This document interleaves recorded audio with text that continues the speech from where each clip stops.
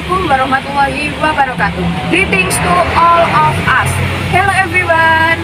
My name is Balkisha Yusafira. I'm from Junior High School 17 Surabaya. I will present about the potential cassava mills as the future bioplastic. Introduction Based on data from the Indonesian Plastic Industry Association, INAPLAS, and the Central Statistic Agency, BPS, Indonesia will produce 85,000 tons of plastic bags waste by 2022. Bioplastic also have great potential for the future because it can reduce the dependence on plastics that are detrimental to the environment. If bioplastic decomposes in the soil, it will become fertilizer so that it fertilizes the surrounding plants. How does bioplastic react when burned? How is the strength of bioplastic in daily use? How much time does it take for bioplastic to decompose in soil and water? This research was conducted at the author's home, prepare tools and materials. The manufacturing process includes mixing the ingredients together in a pot, which is the heated and the pot into container and allowed to stand for three days.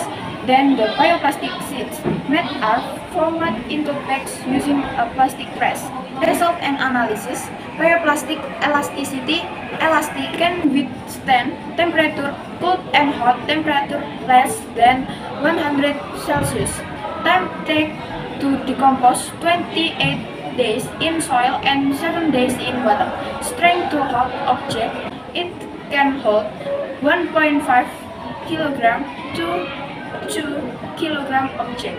Organoleptic, color, odor, and texture. Colorless, odorless, and soft. Of bioplastic when incinerated, it is odorless and products as water absorbency the water in the plastic container start to run out after 5 days. Here is a photo of bioplastic degrading in soil and water. Here is a photo of the water absorbency in bioplastic. This is the result of bioplastic.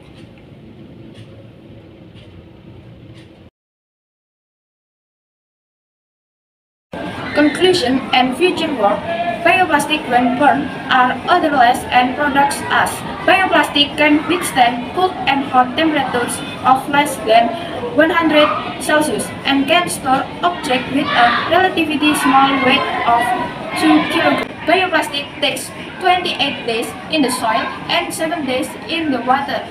For future research, it is necessary to conduct lab tests and future research to determine and content of bioplastic and develop bioplastics as fish, feed, and fertilizer to achieve more accurate and relevant results.